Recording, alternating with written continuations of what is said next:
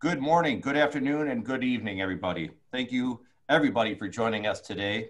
My name is Joe Sweet, and we are privileged to have a global audience from over 55 countries and, and 400 registrants. So thank you for joining us. And we're excited to be connecting with all of you for Cleveland Clinic's second episode of our Global Connect webinar series. Thank you to our returning viewers and welcome to those of you who are tuning into this series for the first time. Today, our featured Cleveland Clinic experts will be Dr. Sanjay Mukhopadhyay, Director of Lung Pathology, Pathology and Laboratory Medicine Institute, and Dr. Atul Mehta, Senior Staff Physician and Buonocore Family Endowed Chair in Lung Transplantation, Respiratory Institute at Cleveland Clinic, who will be interviewed by Dr. Curtis Rimmerman, Chairman of International Operations at Cleveland Clinic. Dr. Rimmerman, I'm going to turn it over to you. Uh, thanks very much, Joe. It's Cleveland Clinics and International Operations uh, privilege to put on this Global Connect webinar series. This is in collaboration with our Global Leadership and Learning Institute and also our Center for International Medical Education and also our Global Patient Services. This is a series that is meant to educate colleagues around the world as we fight this terrible pandemic. We're learning a lot here at Cleveland Clinic and it's our obligation to share what we learn in a very timely manner. I don't want to delay the rest of the presentations and uh, our subject matter experts. We do encourage questions. We have some questions embedded in the uh, presentation which we think are salient. However, if you do have questions, we'll either try to address those during the presentation or offline. Without delay, let me turn it over to my uh, friend and colleague, Dr. Atul Mehta. Thank you very much, Kurt. Good morning, Sanjay. Joseph, thank you for the kind remarks. In the next session, I'm going to talk about a clinician's perspective on COVID-19.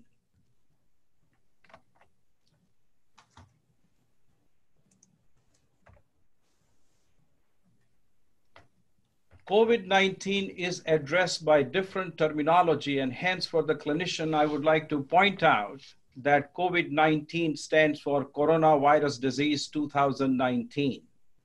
It is also referred as SARS CoV 2, which stands for Severe Acute Respiratory Syndrome Coronavirus 2. All of you know that it is an RNA virus which affects mammals and birds.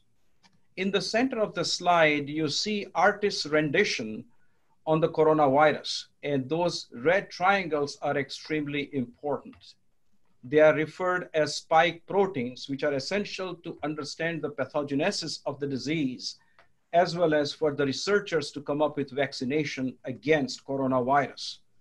It's understandable that the term corona comes from the corona around the sun, the halo around the sun, which is referred as corona.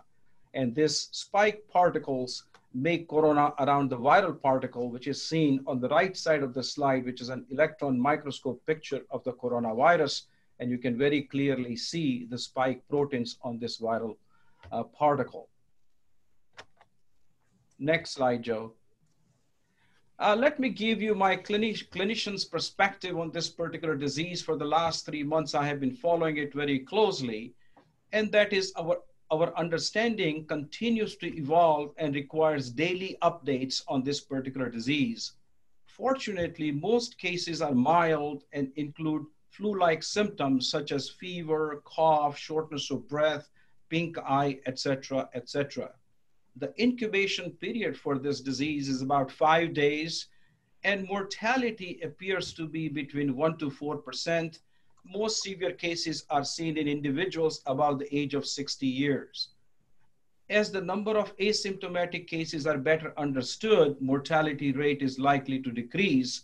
And I do not want to forget in this era of pandemic for COVID-19, other respiratory infections continue to circulate, such as influenza, community acquired pneumonia, RSV infection, and so on and so forth. Next slide, please.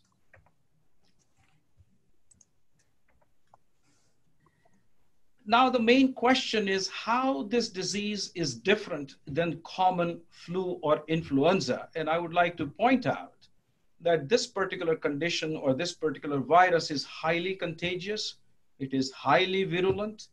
There is a great predilection for the lungs, and pulmonologists hence need to get involved with this particular condition. It leads to respiratory failure, shock, cardiac arrhythmias, myocarditis, ARDS, or SARS like symptoms, or presentation and hypercoagulability status. There are so many other presentations, such as neurological involvement, renal failure, so on and so forth. Kurt? Yes, thank you so much, Atul. So as we look at the data that has been published about how COVID affects the lungs, has this given you a better understanding of this disease? Uh, certainly, uh, there are there are uh, some um, uh, data. There is some literature related to um, uh, the pathogenesis of this particular disease. Joe, may I have the next slide, please? Um, and it is it is very interesting in that regard. More we learn about it, more we realize that there are major gaps in our understanding related to COVID-19. And whatever information we have, however, it could be divided into certain stages. Stage one stage two stage three. The first stage which is like first couple days after inoculation that is basically binding of the spike proteins as i mentioned to you to the ace receptor site on the surface of the ciliary cells of human beings. Um, uh, can we go back to the previous slide? Yes. And what happens is this viral particles are attached to the ACE receptors. Now, let me pause here for a second to reassure all the individuals who are taking medications like ACE inhibitors or ACE receptor blockers, they need not worry about um, that this their medications do not interfere with um, either the diagnosis or severity of the disease, and it is safe to continue taking these medications during the uh, COVID era. And this is uh, supported by two very recent articles in the publication, one coming out from the Cleveland Clinic in JAMA Cardiology just last night. Once these particles are attached to the ACE receptors, then they enter the cells, there is proteolysis, which leads to production of um, uh, replicase, and this replicase help produce more viral particles. This viral particles in stage two cause immune reaction leading to release of beta and delta interferon and which eventually leads to cytokine release and further destruction into the lung. Yes.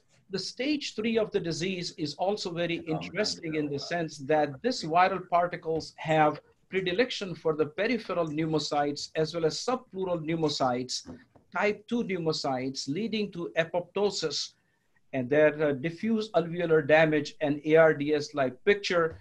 And again, it is related to the cytokine release. And that is what we have understanding, yet there is uh, tremendous gaps in our understanding related to this disease. Next slide, Joe. Dr. Mehta, if I could interrupt you one second, we're gonna we're having a, a tech issue, and I'm gonna try to sure. uh, see if I could get the slides to be a little clearer. Apologize to our attendees. Yes. Slight technical issue.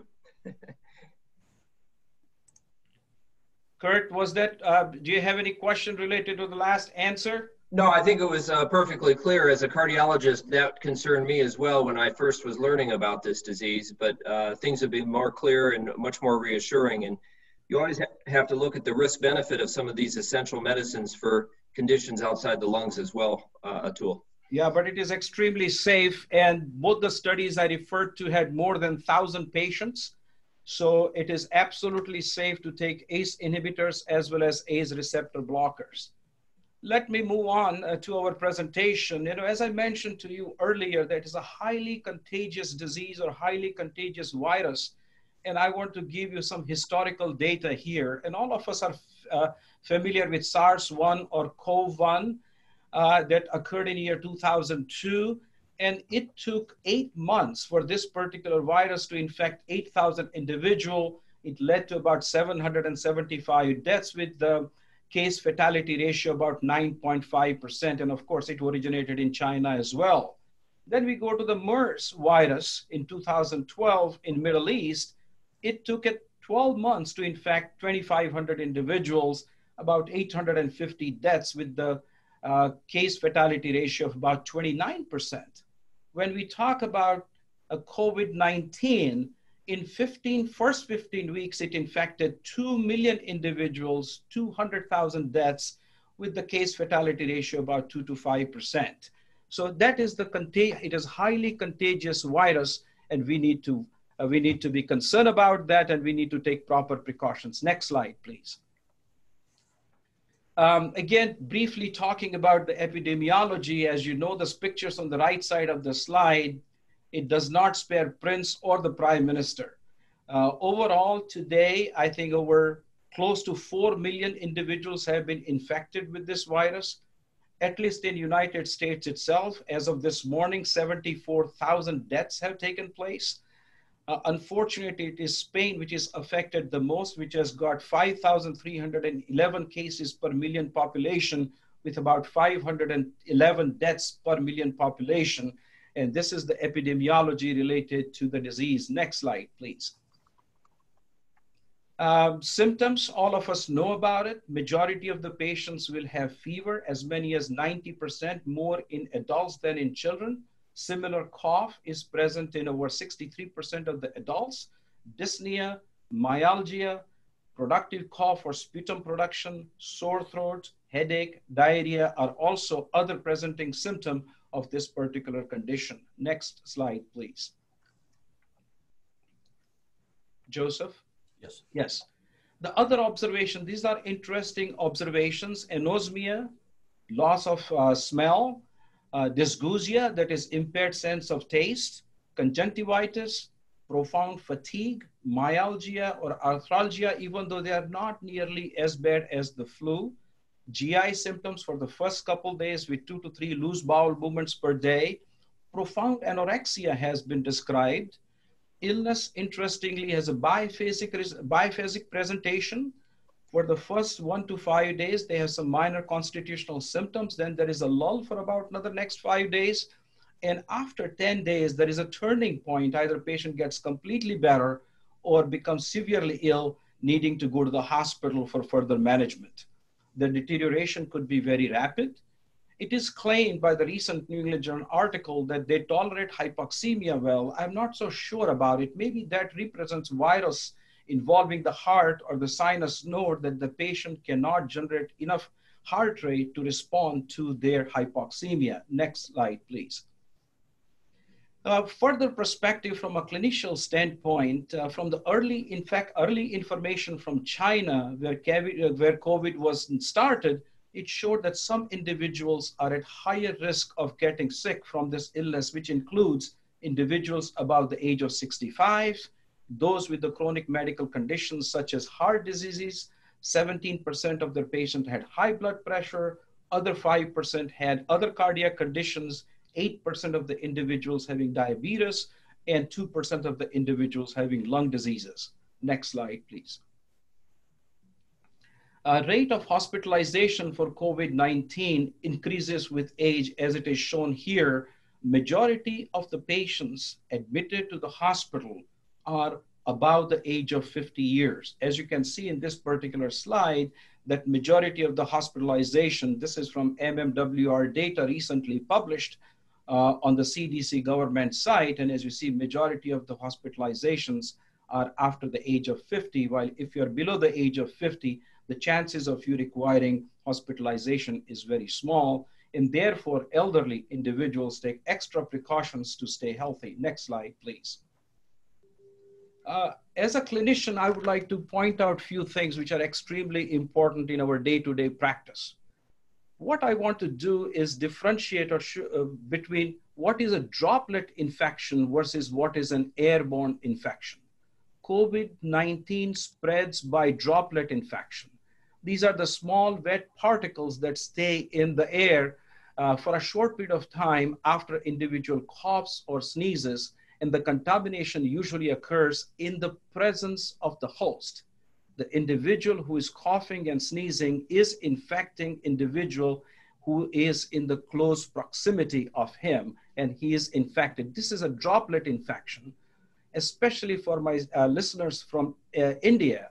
Tuberculosis is an airborne infection. Any disease that is caused by pathogens that can be transmitted through the air or the environment over the period of time uh, by small particles. And this information is extremely important. Next slide, please, to understand why we use certain types of masks. A surgical mask shown in figure A, it is a loose fitting disposable physical barrier between the mouth and the nose of the wearer and potential contaminants, contaminants in the immediate environment.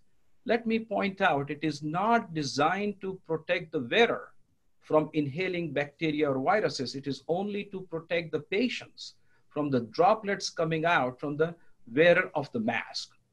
If you really want to protect yourself from the infection, viruses or bacteria or even airborne infection, then you need to wear N95 mask. What is an N95 mask? It is a face piece that filters at least 95% of the airborne particles, which are larger than three microns in size, and it provides protection against particulates, but not against the gas gases and vapors. So if there is a chemical explosion, N95 mask is not going to be beneficial. Many of us, I would say majority of us today are wearing the cloth mask, which has got no standardization, there is no regulation, there is a little research related to the guidance of their effectiveness. It is only reason we wear the cloth mask is it is a last resort due to shortage of surgical masks and respirators. In India, they have been using this mask, especially the Hindu monks were wearing this mask for 3,000 years. Next slide, please. Individuals who cannot be properly fitted with N95 mask and are involved in aerosol generating procedures such as bronchoscopy they should wear powered air purified respirator as I'm showing you one of my nurses wearing it before starting the bronchoscopy procedure. On the left side of the slide, there is another form of an N95 mask, which is shown by an arrow. Next slide, please. Also, this is a beautiful chart. I like it very much. Who should wear what type of personal protective equipment? And let's just look at the last two lines um, of this particular chart that if you are involved in aerosol generating procedures or you are performing code on this individual, you are doing CPR in this individual, then you must wear an N95 mask. Otherwise, wearing surgical mask is appropriate. And in the ambulatory setting, in the inpatient setting, or if you are just collecting nasopharyngeal swabs, wearing surgical mask, eye protection, gloves, and gown is appropriate. In ambulatory setting, there is no need to wear even gown. This is just to, uh, uh, you know, save personal protective equipment for future use. Next slide, please. Uh, once again, continuing with my perspective on this disease, the danger of the disease starts when the virus reaches the lungs. The progression from mild to moderate to severe case occurs very quickly one in seven develops difficulty in breathing and other severe complications. They typically suffer with respiratory failure and other, vi other vital symptoms and sometimes develop septic shock. Next slide, please. So it is a very rapidly progressing disease. Kurt? So, Atul, what respiratory conditions besides ARDS can be seen with COVID and what symptoms should patients look out for? Okay. Uh, next slide, please. Um, Kurt, yeah, I'm glad you asked me this question because we see hundreds of CT scans on daily basis. And besides just the ground glass nodular appearance associated with COVID-19, you can also see solid infiltrates or consolidation as shown in frame A. We can also see crazy paving pattern, which is seen in pulmonary alveolar proteinosis, which is shown in frame B and C, which is also seen with COVID. You can also see interstitial infiltrates. And in small number of patients, we have also noticed bilateral pleural effusion. And these are the other radiographic presentation of COVID-19.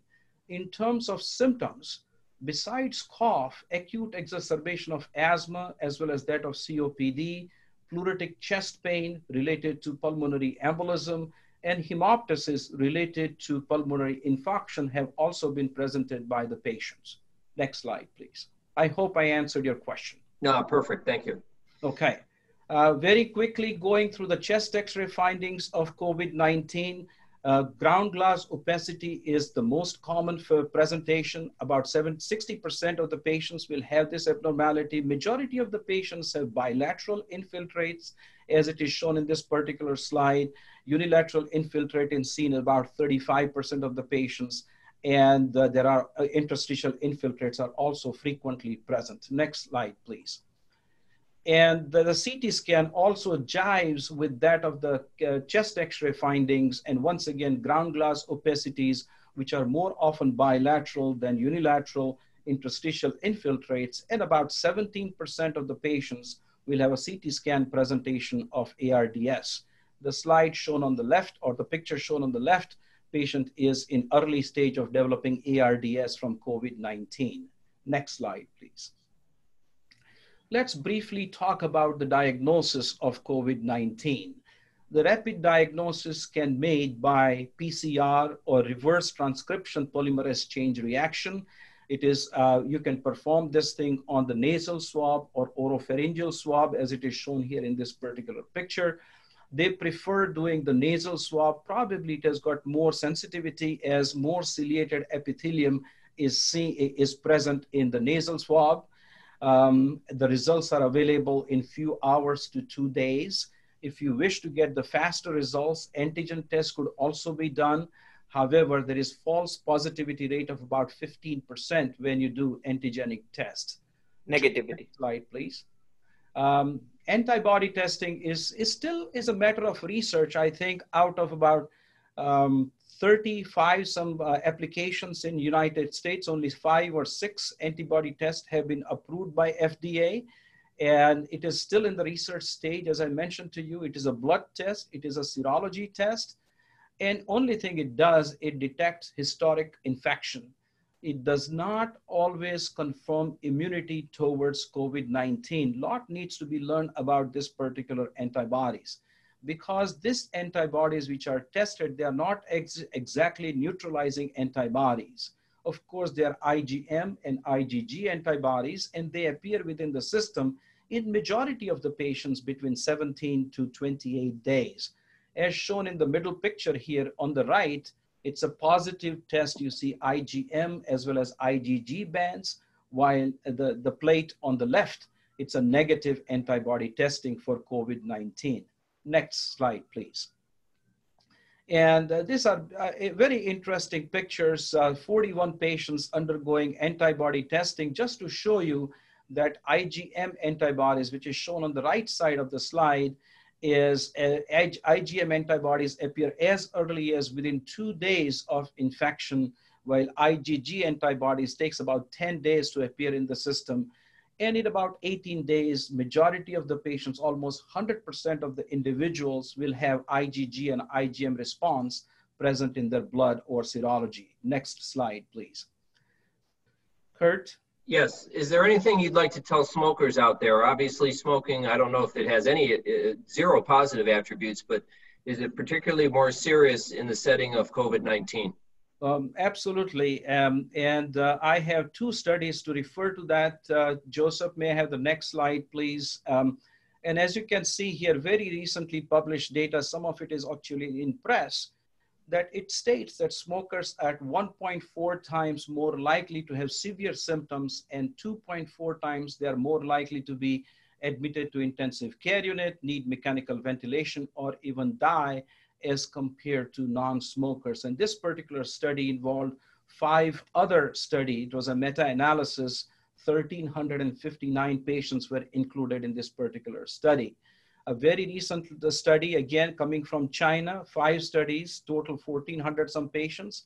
It showed that odds ratio for progression towards severe disease uh, was 1.69 among smokers as compared to non-smokers, even though they claim that this was not statistically significant, there is some element that there is increased risk. If you smoke, you have more severe disease. I hope I answered your question. Yes, perfect. Thank you. Next slide, please. Uh, how do you manage? Very quickly, let me take you through this. The management is mainly supportive. Let me point out once again that there is no scientific data for the use of hydroxychloroquine either for prophylaxis or for the management or the treatment of COVID-19. There is no scientific proof that this medication works. There are no double-blind randomized controlled trials to support the use of Plaquenil. On the other hand, occasionally, it, especially when used with azithromycin, it can cause QTC prolongation and patients who already have very sensitive myocardium, it can lead to very serious cardiac arrhythmias. So you have to be extremely careful. I recommend not using it. Uh, also, our infectious disease specialists and colleagues, they feel that um, lopinavir and ritonavir, they are not very useful for this particular virus. We'll briefly talk about remdesivir, which is also referred as Ebola drug. And let me point out that has not yet been approved for Ebola either. Another medication we routinely use in our hospitalized uh, COVID-19 patients is tocilizumab, which is interleukin-6 receptor antagonist. And this is made to treat a cytokine release syndrome. And then uh, there is, of course, anecdotal reports of uh, passive antibodies, that is COVID convalescent plasma infusion, and there is a science behind that and could be used in selected patients. Next slide, please. I want to spend a few moments on uh, remdesivir intravenously because it has achieved or it has received uh, emergency use approval in United States referred as EUA. And that is based on a single NIH study, which involved about 1,000 patients. It was a randomized control plus um, prospective trial in individuals who are hospitalized with severe disease and this particular administ administration of this particular broad spectrum antiviral agent, it shortened the time to recovery from 15 to 11 days. And that difference was statistically significant. There was also a trend towards improvement in the survival of these patients who received the medications from 11.6% versus 8%. However, this difference was not statistically significant. I just want to point out this drug is not yet approved for SARS or MERS, and it was found ineffective against Ebola as well as Marburg uh, viruses as well. Next slide, please. While treatments and vaccines are currently being tested for COVID, do you have any advice for those of us who are on this webinar today from a personal and public health perspective, if you don't mind? Um, Kurt, this is, um, yes, it's a public health point, or it may be more philosophical question as well. Next slide, please. You know, uh, as I'm getting to an age, and I would, I would like to point out that pandemics are the part of our life, even in 2020. You won't believe I have lived through myself TB, polio, HIV, SARS, MERS, Legionella disease, bird flu, swine flu, and now COVID-19. So even in 2020, if somebody feels that, oh, our science has advanced so much that we can take care of pandemics and epidemics, and that is not true. So be prepared for this type of illnesses for rest of our life and continue to work towards that. And therefore, what we need to do is stay healthy, uh, quit smoking, take alcohol in moderation, good nutrition, exercise, avoid pollution. And I think that is some of the simplest way to keep ourselves healthy. Make sure you're up to date with immunization. I'm talking about pneumonia vaccine and flu vaccine. Even today, many of us avoid taking flu vaccine, and I don't think that now it is a wise thing to do. Washing hands, you know, for physicians before you enter the patient's room and once you come out of the patient's room, I think this is a simple but a very good habit to prevent spread of infections we should all learn um, social distance, distancing uh, in this particular time. And an individual I admire um, is the governor of New York State, who just recently stated that not wearing a mask is disrespectful in the pandemics, during the pandemic. So I think these are some of the common things as, as a, an individual, as a citizen, we should do to avoid spread of the disease. I hope I answered your question. Sure. Let me uh, tag on another question from the audience. Can you talk about our institution's PCR sensitivity and specificity? Uh, you're asking me? Yes, if you don't mind.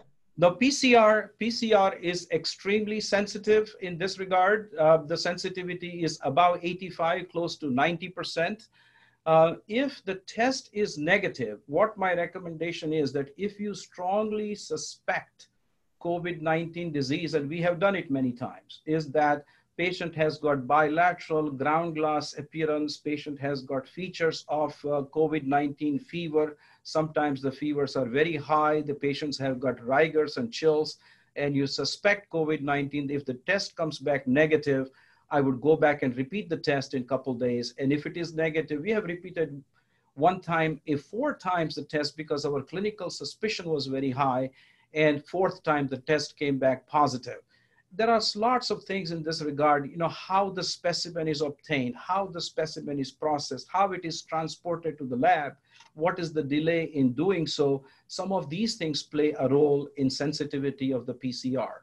So I trust PCR testing more than the antigen test. And one follow up, uh, you know, I know someone very well who had a recent uh, test for COVID 19, and they described it as an extremely invasive test through the nares into the posterior pharynx, I suppose. Um, so um, maybe it's related to testing technique as well. Uh, yes, absolutely. That is what I was referring to. If you just talk about the PCR testing, it is very sensitive, but there are lots of stages of, you know, when you obtain it, if it is not obtained properly, I mean, as you see, that's many a times there are lines of 200 people waiting to get the swab test done, and the individual who is doing it, it is not doing it properly. It is not very painful test or anything like that. We do it routinely in my lung transplant clinic. Before even the pandemic, we were always looking for influenza. We were always looking for para-influenza or RSV infection. It's a very simple test, and uh, we seldom have false negatives in that regard. All right, uh, go ahead, please. Uh, let me just very quickly go through if the patient continues to get worse, of course, patient will require ventilatory support.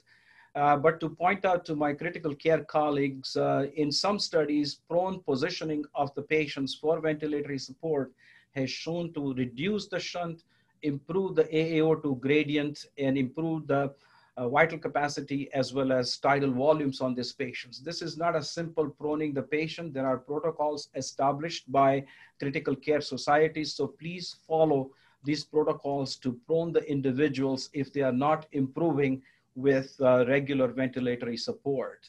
Next slide, please. And if patient continues to get worse, of course, they may require uh, support with ECMO uh, if patient has cardiac involvement, they are in heart failure, arrhythmias, ejection fraction has gone down, those patients will require AV or arteriovenous or veno-arterial ECMO.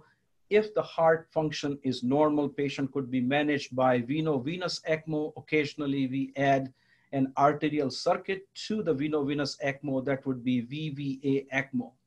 Let me just point out, in a very selected patients, very few patients, patients after COVID infection, if they develop interstitial infiltrates or interstitial disease, these patients have been treated with lung transplantation. There is some Chinese experience related to lung transplants in COVID patients. And at Henry Ford Hospital, if I'm not mistaken, there are a couple individuals in United States have undergone lung transplantation. Being a transplant physician, I had to bring it up, Kurt. Next slide, please. Next slide. Uh, so, Atul, from recovering COVID patients, will there be lasting uh, pulmonary effects, or will they actually recover downstream from these issues? It's it's a very good question. The next slide, please. Um, you know, as I always say, Lord Byron had said actually that best prophet of the future is the past. I mean, I don't have a crystal ball to tell you what will happen to the COVID-19 patients, but going back and looking at what happens to the ARDS patients three, four, five years down the line, and what happened to our SARS patient few years down the line. And I found two beautiful articles related to that. One was related to ARDS uh, five years down the line from New England Journal of Medicine.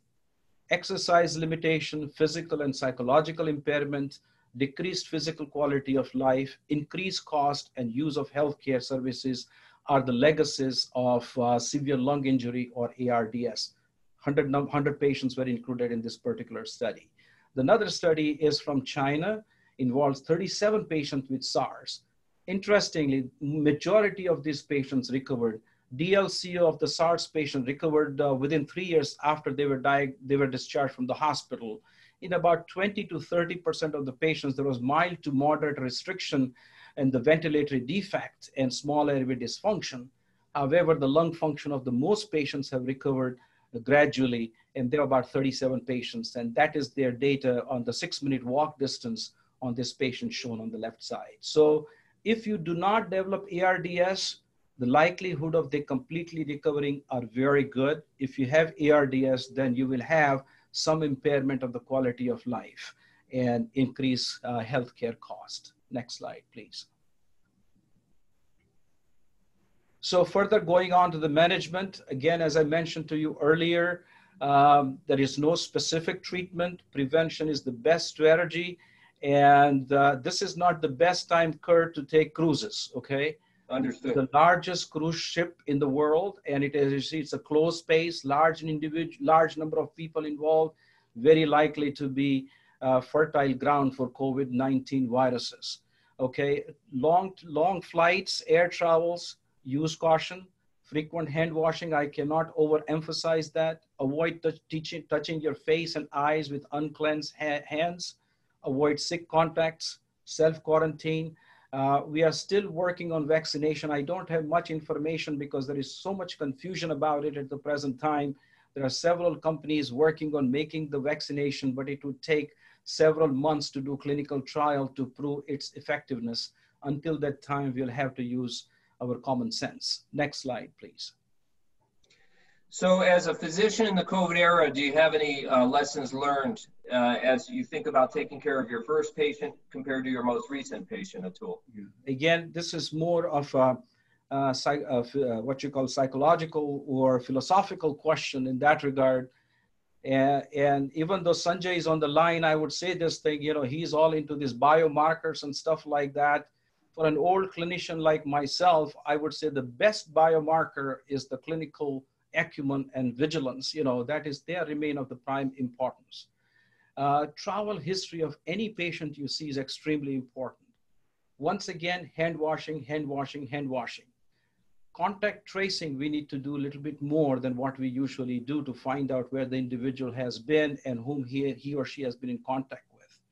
And what I have learned more while dealing with the COVID patients that if you have a suspected case, you are taking proper care of the individual, but you can uh, prevent spread of the disease that by consider prescribing once daily medication to limit the use of protective equipment. You know, instead of or ordering medications four times a day, if the same medication is available once a day dosage or a, you know, uh, long duration medication, that would reduce the exposure. Use meter dose inhalers versus nebulizers to prevent aerosol spread of the viruses. And if you need, use a higher dose of meter dose inhalers such as bronchodilators rather than prescribing nebulizers. Um, we also prefer that instead of giving patients insulin three to four times a day, if the blood sugars can be controlled with oral hypoglycemic, that would also reduce the degree of exposure. Consider um, thromboembolism prophylaxis with a single dose of Lovenox rather than twice a day dose of subcutaneous heparin. Infusion pumps, you know, which could be kept outside the ICU room so you do not need to go into the uh, patient's room frequently and you can adjust these things from outside. Even ventilators can be kept outside the patient's room to make the frequent changes without um, uh, uh Uh, uh, without exposing yourself to COVID-19 patients. And a teamwork, what we refer to it as a buddy system, that when I'm inside the room with the patient, somebody's keeping watching and keeping a watch on me that I'm doing everything correctly what I'm supposed to. I'm wearing the protective gears properly. I'm not touching the things which I'm not supposed to. I'm donned properly with the gloves and gowns and so on and so forth to protect each other from the spread of the disease. I hope I answered your question. Perfect. I think, Atul, in the interest of time, and it looks like we're right on time now, we're going to switch to Dr. Mukhopadhyay, who's going to look at things from a pathology perspective. Thank you so much, Atul. I'm going to ask, uh, if you don't mind, for 20 more minutes for you to stay on the line, sure. should there be a, a time for questions. So Sanjay, thanks so much for joining. You were recently featured in a segment with the New York Times about COVID and acute respiratory distress syndrome. Can you please tell us about this segment and what ARDS is from a pathology perspective?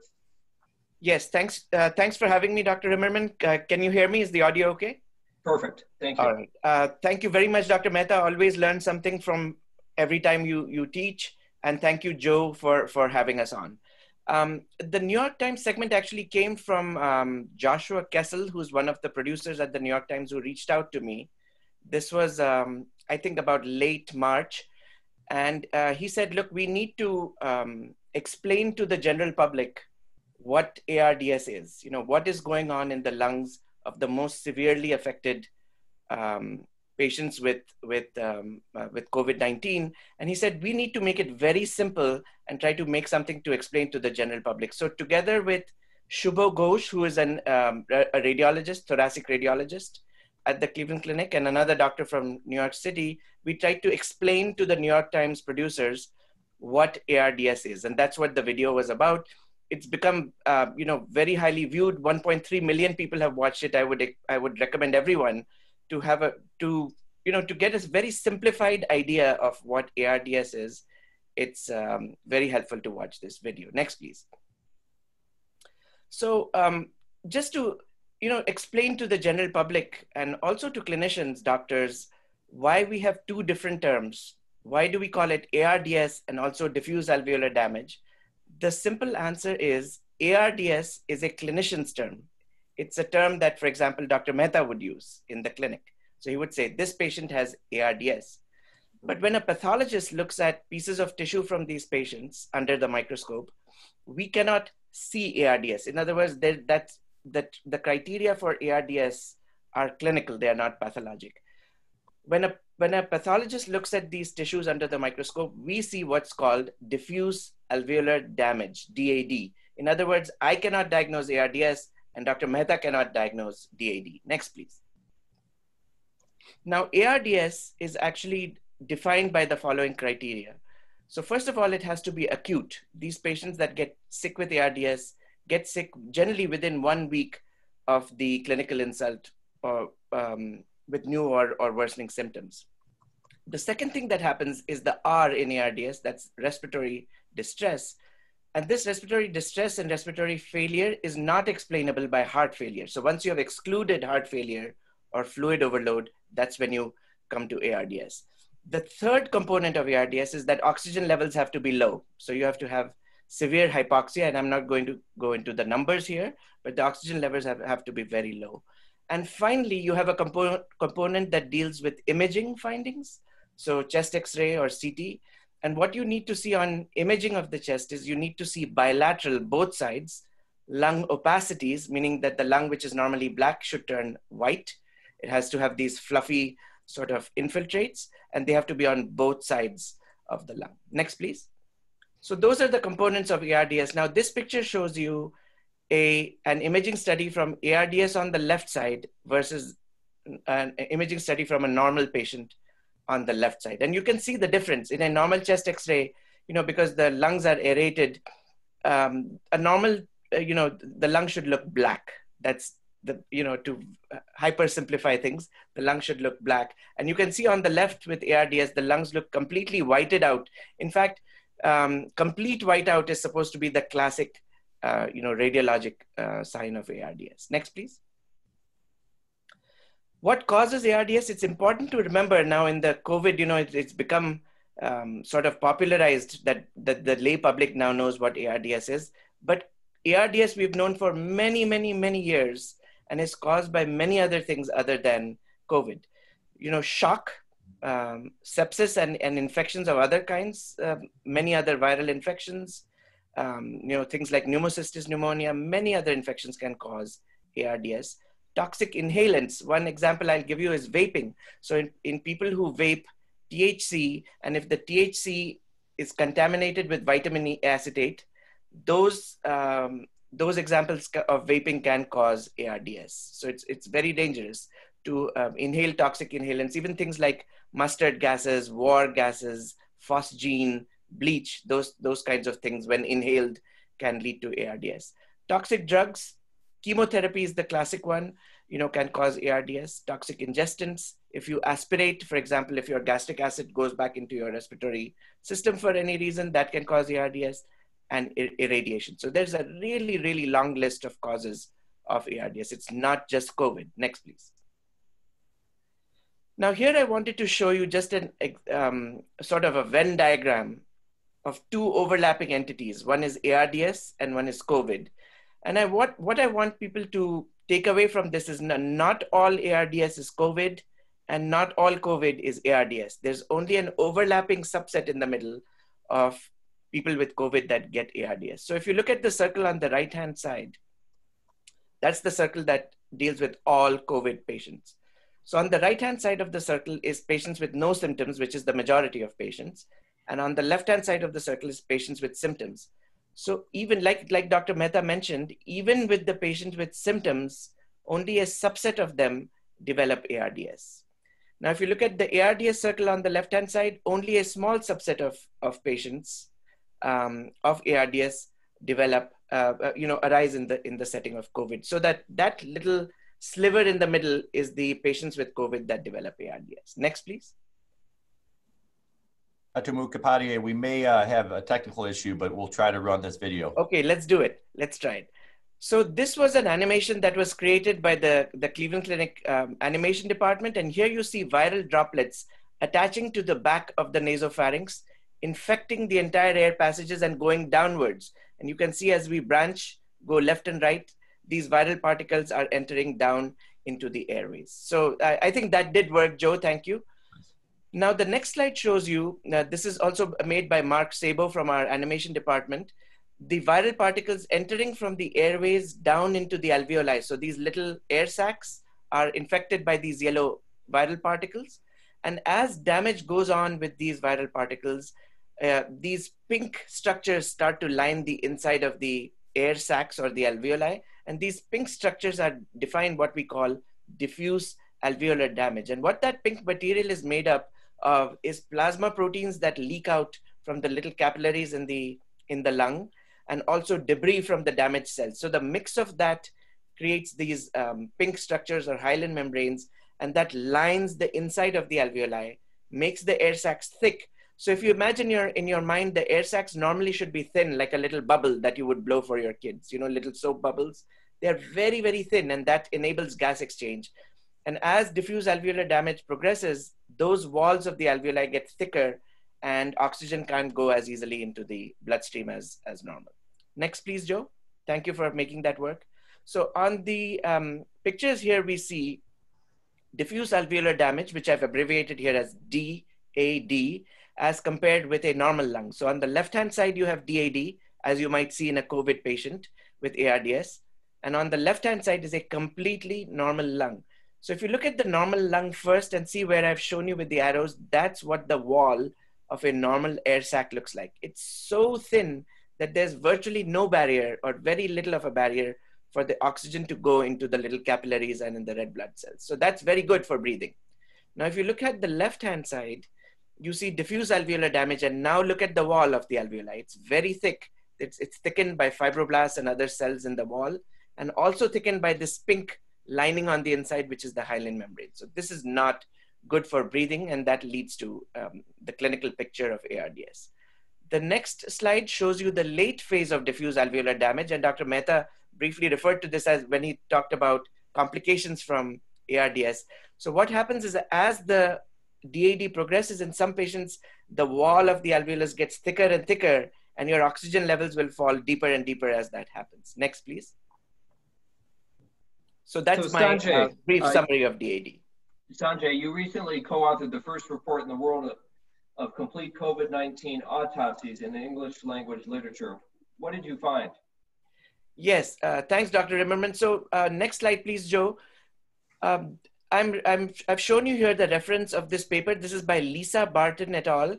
And what happened here is that uh, two autopsies that were performed in COVID patients um, in March 2020 at the Oklahoma Office of the Chief Medical Examiner um, by Dr. Edana Stroberg and Dr. Eric Duval, who are forensic pathologists there.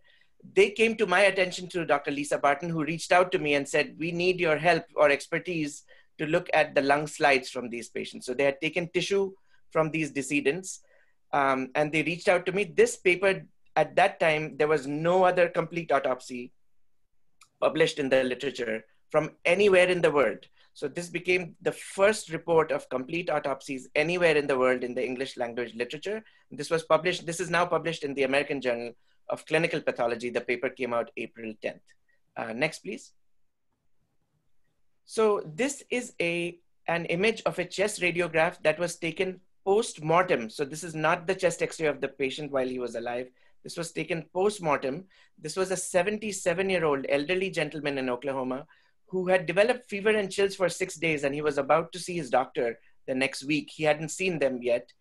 Uh, when his wife uh, noticed that he was getting very short of breath, was very weak, couldn't get up to go to the bathroom, and she noticed some gurgling sounds, immediately called 911. But unfortunately, on the way to the to the hospital, the patient had a cardiac arrest, and in the hospital barely survived for about 30 minutes, and then unfortunately passed away this patient had a history of hypertension and a remote splenectomy, so did have some underlying conditions. Um, importantly, I'd like to mention here, this, this gentleman was never tested for COVID, never treated, never put on a ventilator. So from this unfortunate you know, event, we get to see um, some, get some medical insight into the lungs of a person who was never ventilated. So it, the pathology that we see there is pure COVID-19 related pathology. Next slide, Joe. So what we saw in the lungs of this, this decedent who was actually tested for COVID post-mortem, so the forensic pathologist took a swab of the nasopharynx as well as swabs deep into the lung parenchyma, and both came back positive for SARS-CoV-2. So we know this patient had had COVID from the post-mortem testing. What we saw in the lungs was exactly what I described to you before, which was diffuse alveolar damage. The black arrows point to the hyaline membranes or these pink exudates that come out from leaky capillaries and from damaged cells. And the green arrows show you these blood vessels in the lung. And I want to show you that because in this case, we did not see the diffuse uh, blood clotting that's, that's described in some cases now. Um, so we did not see evidence of diffuse small microthrombi in the lungs in, in this case. Next, please, Joe. Um, I want to stress that DAD, like we see it here, is not uh, seen only in COVID patients. So on the left-hand side here, I'm showing you DAD from one of our COVID patients, um, the 77-year-old gentleman. But on the right-hand side, there's DAD from an H1N1 case. This was a case I had seen back in 2009 from an H1N1 or swine flu case. Those cases also showed DAD. So very similar pathology to what we're seeing now. Next, please, Joe. Here's a case of diffuse alveolar damage. The green uh, uh, arrows show you the identical hyaline membranes to what we're seeing nowadays in COVID. But this is not a COVID case. This is a case of disseminated strongyloidiasis. This is from a patient, uh, um, a patient who had a parasitic, a very serious parasitic infection. And on the right side of the screen, you see an arrow that shows you the actual parasite in the lung tissue. Next, please.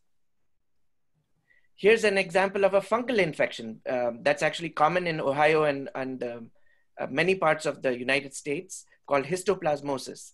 So in some cases of very uh, disseminated and severe histoplasmosis, you can get uh, diffuse alveolar damage there too. Next, please.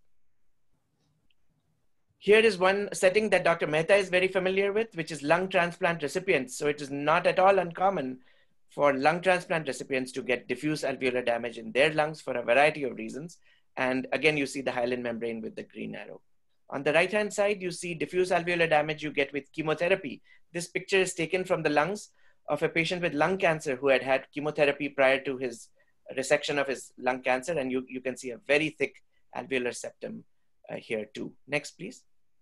So DAD happens in a wide variety of cases. I briefly mentioned to you that patients with vaping can get DAD if they vape um, um, marijuana with, uh, which is contaminated with vitamin E acetate. Here's a picture of one of the cases we reported uh, last year, uh, again in the American Journal of Clinical Pathology, from patients who were vaping and got sick. So this is a case of a patient who was dabbing, that's a sort of variant of vaping, who was dabbing tetrahydrocannabinol or uh, marijuana. The active ingredient in marijuana also developed DAD. Next, please. Uh, another thing I'd like to mention from the autopsies we saw, Dr. Rimmerman, is that we saw inflammation. We saw very significant inflammation in the airways in these cases and also inflammation in the lungs. And all the pictures that I'm showing, uh, especially the, the red circles, they show the little inflammatory cells, which happen to be lymphocytes. Next, please. The inflammation also affects the walls of the alveoli, so the alveolar septa. So there's an interstitial inflammation going on. And in the case we described, um, it actually involved, again, lymphocytes. So they appear to be a key cell uh, in, in COVID-19 lungs. Next, please. We actually did a couple of immunohistochemical stains to figure out what kind of cells they were and to not to get too technical, but the cells are basically T lymphocytes, what we call T lymphocytes, and that's uh, shown by the CD3 cell uh, stain there. And um, in our experience, the CD8, which is a subset of the T lymphocytes, is slightly higher than the CD4 cells. So we have some data on what kind of cells are actually present in the inflammatory infiltrate in the lung. Next, please the case two in our study was actually much more complicated and a little more, in, um, uh, you know, sort of a variant. So this patient also had bilateral infiltrates in both lungs, but was a 42 year old, so younger person with a history of myotonic dystrophy who was, um, who did see a doctor and was, was labeled as community acquired pneumonia. They, he was never tested for COVID-19, but post-mortem a nasopharyngeal swab was positive. The lung swab was negative. So this was another case where the post-mortem swabs uh, diagnosed him with COVID 19. He also died after a few hours in the hospital. Next slide, please. So, in contrast to the first case, we do not think that the cause of death in this patient was COVID 19. He definitely had COVID 19, but he died of what we think was acute bronchopneumonia due to aspiration. And we see, see this acute bronchopneumonia in his lungs under the microscope. And we know that he had aspirated food particles because we could, we could see those food particles in the microscope. So, this is a sort of an outlier case where the patient definitely had COVID 19, but the cause of death was unrelated, probably unrelated, uh, related to an underlying condition and aspiration related to that. Next, please. Um, and finally, I would like to ad address this issue about blood clots. This is becoming more and more of an issue in, in COVID 19 patients. We know that there is, uh, Dr. Mehta also mentioned this, a coagulopathy. There's a recent paper just from a day or two ago from the New England Journal of Medicine that shows that uh, some of these patients have a high APTT level. So you think that they would bleed, but they actually are, don't have any clotting factor deficiencies. In fact, a large proportion of them, 91% of the ones that have high APTTs, have a lupus anticoagulant. Very, very surprising. Uh, uh, uh, and that causes clotting, possibly is related to clotting. So here in these pictures, I'm, showing you blood clots in, within the small arteries in the lung. But interestingly, this is not a COVID 19 patient. This is a patient with H1N1 from 2009. And the point I want to make here is that clots actually happen not just in COVID 19, but in other cases that lead to diffuse alveolar damage in ARDS. So, something for people to remember is uh, as we are hearing all this data about clots, you must remember that blood clots in the lung also occur in, in the setting of other diseases. It's not unique to COVID 19. Next, please, Joe. And next slide, please. Um, and I'm just showing you here some literature from textbooks from Dr. Katzenstein and from the Sp Spencer's pathology that make the same point that you can see thrombi or clots in small pulmonary arteries in other conditions that lead to diffuse alveolar damage. This is not just a COVID-19 thing. Next, please. So uh, your COVID ARDS segment is based upon findings from a retrospective study in Wuhan. Are you currently involved with any studies related to COVID and any respiratory findings?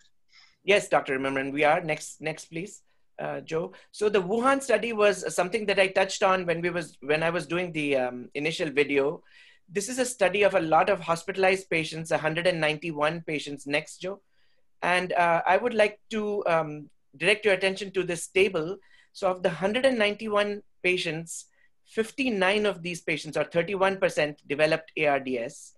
And of those 59 patients that developed ARDS, 50 of those patients died. So 50 of 59 patients. So it was highly associated with mortality. There were only nine survivors. So the, the point of that um, uh, reference to the Wuhan study was that ARDS is associated with increased risk of death in COVID-19. Next, please.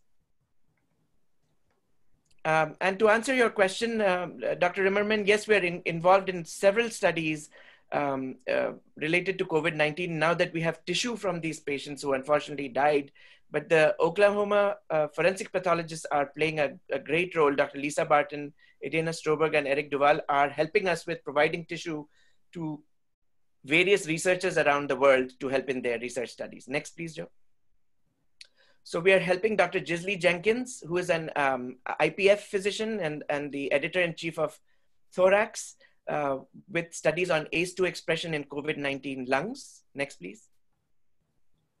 We are collaborating with Dr. Anant Madabhushi, who is um, a, an artificial intelligence and computational pathology researcher, very famous doctor in that field, who works just across the street from us at Case Western. So we are collaborating with him, providing him tissue to, for, for insights into whether computer vision or machine learning can give us some insights into COVID-19. Next slide. We are collaborating with Dr. Nima Sharifi, who is a top researcher at the Cleveland Clinic, who works with in GU pathology and, and, and is an authority on androgens um, in prostate cancer. He's looking at whether there are any explanations as to why there are gender differences in COVID 19, why men and women are affected differently. So we are collaborating with him as well. Next, please. Sanjay, if you don't yeah. mind, we're running against time, and I apologize Absolutely. for interrupting. Yeah, and this is the last one, and we are collaborating with also with Dr. Hatipoglu, and that's the last slide. Thanks so much. I want to squeeze in one or two questions, and Atul or Sanjay, feel free to uh, jump in. What do you think about acute fibrinous and organizing pneumonia reported by several groups in COVID-19? This pattern was already seen with SARS-CoV-1. Yes, I can take that question if you don't mind, Dr. Mehta. Please. Yes, so there, there are there are reports that's absolutely correct uh, of acute fibrinous and organizing pneumonia. I will point out that some authorities feel that this entity is actually a variant of diffuse alveolar damage. In some cases, these hyaline membranes that I showed you, they just fall into the air spaces and they create the appearance of a fibrinous pneumonia. So in some cases, it's a variant of diffuse alveolar damage. In other cases, it's a variant of organizing pneumonia. But the point is well taken. This is being reported more and more. Should, should we give anticoagulant prophylaxis to all COVID-19 patients? Dr. Mehta. Yes, the answer to that question is everyone should receive um, venous thromboembolism uh, prophylaxis uh, with once a day um, uh, Lovenox um, subcutaneously. Uh, if they have evidence, only if they have evidence of the disease or the pulmonary embolism or pulmonary infarction, then they should be treated with therapeutic doses of heparin. And this is for hospitalized patients only, is that correct? This is for hospitalized patients only, correct. Okay. Uh, another question is, uh, and I'm not sure I understand the question, but hopefully you guys do. Did you test some IHQ for COVID-19? Yes, uh, I can I can uh, tackle that. I think they mean immunohistochemistry. So Thank in you. our cases, we did not do immunohistochemistry, but subsequently, subsequent to the publication of that report, we have used chromogenic in situ hybridization in collaboration with another lab, and the, our cases were positive. So there is evidence that there was actually viral particles inside those tissues. Two other quick questions, and we'll have to sign off. Any role of corticosteroids in view of DAD inflammatory changes seen in the early stages? Um, we had, uh, there is a data of using this thing very early. I'm talking about when we started, when we had a surge in New York, my conversations with ICU physicians in New York, they had used high doses of steroids, just like they use it in ARDS patients but there is no scientific proof that high dose steroids, when they develop ARDS, is making any difference in this group of patients. Do you recommend them as a last ditch effort? Um, it is, uh, I can understand it is so frustrating looking after some of these patients. And if the individual, as we say this thing in fibroproliferative uh, phase of ARDS, yes, I would recommend use of um, corticosteroids. Okay. And the clogged endotracheal tubes, there have been several patients that need uh, the, their tubes changed out emergently. Is that a, a common finding or is that just a few case studies, please? Uh, well, go ahead, Dr. starting that, yes. Yes, I can, I can address that. That is a few case studies. So Dr. Hatipoglu is actually working on this um, uh, on this occurrence that the endotracheal tube uh, get clogged and that it's difficult to extubate these patients. So this, this is not published data yet, but we have looked at the microscopic sections of these clots, and I think we'll be able to offer some insights soon in, the, in published form. And I promise, last question, uh, patients who are overweight or obese have seem to have uh, more severe clinical disease with COVID and their outcomes are not as good uh, alveolar hypoventilation, restrictive lung disease, body habitus. What do you think, Atul? All of those things, diaphragmatic dysfunction, very low tidal volume, uh, requiring high pressures, uh, all of these things work. You know, these patients to begin with um, have microatelectasis and um, increased uh, AAO2 gradient to begin with. Many of these patients may even have obstructive sleep apnea. Many of them may even have central sleep apnea. And when they get bilateral pneumonias, I think the ventilatory management is a bit complicated. And maybe there is something else, obesity. And uh, if they are diabetic, you know, that also further adds to their immune system. And therefore, maybe combination of factors is playing an increased mortality in obese individuals. All right, well, thanks again. I'm going to turn it back over to Joe Sweet for a conclusion, please. Thank you, Dr. Rimmerman, and thank you to all of our uh, registrants and viewers. Uh, this was, uh, to me, this was an extremely engaging and educational uh, presentation by our subject matter experts, Dr. Atul Mehta and Dr. Sanjay Mukhopadhyay. Uh, we also encourage you to complete our follow-up survey. We would love to hear from you as far as other topics of interest uh, for our future episodes. And thank you all for joining. Thank you to our, our presenters, and thank you, Dr. Rimmerman, for your excellent moderation. And we wish everyone a, a wonderful day. Thank you Thank so you. much. Thank you. Bye-bye. Bye bye.